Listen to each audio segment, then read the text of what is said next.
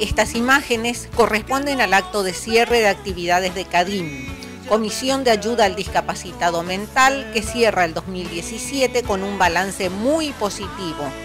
en el que entre otros logros se destacan ampliación y amoblamiento de la cocina, mejoramiento de los baños, poda de árboles añosos, pintura de muros, además de la adquisición de un nuevo portón de ingreso con fondos propios y sin deudas pendientes.